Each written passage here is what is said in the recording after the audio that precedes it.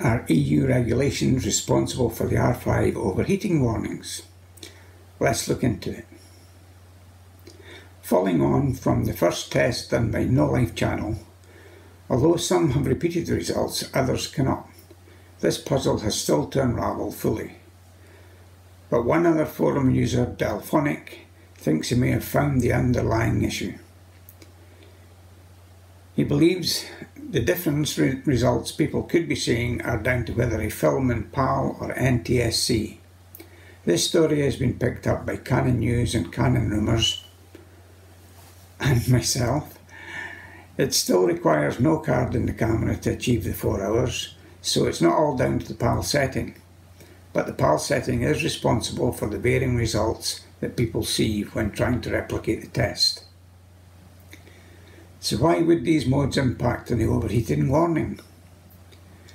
Apparently Europe, where the PAL system is predominantly used, they are implementing new rules on safe handling temperatures for electronic goods. These rules will impact all cameras sold in the EU, so Sony, Fuji and others may also need to implement the safe cut-off limit, just like it appears Canon have done in the R5 and R6.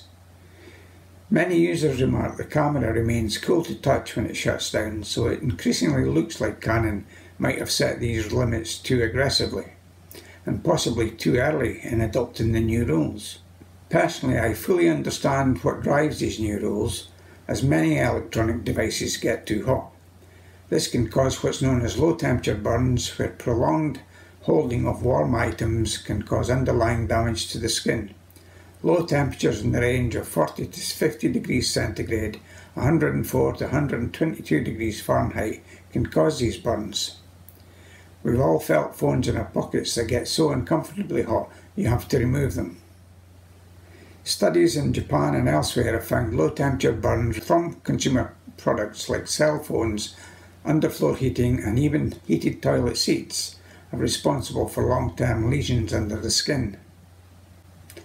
I'm not wishing to make a scare story out of this, but it seems low temperature burns are bad because we are unaware of the underlying damage they cause. The items don't get hot enough to make you pull away and seek treatment, so damage can go untreated for years.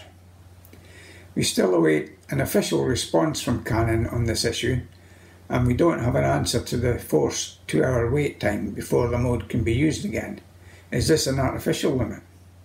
No Limits suspects if you turn the camera on and off again when the warning first appears, you can continue, but if you allow it to shut down, the two hour wait period kicks in.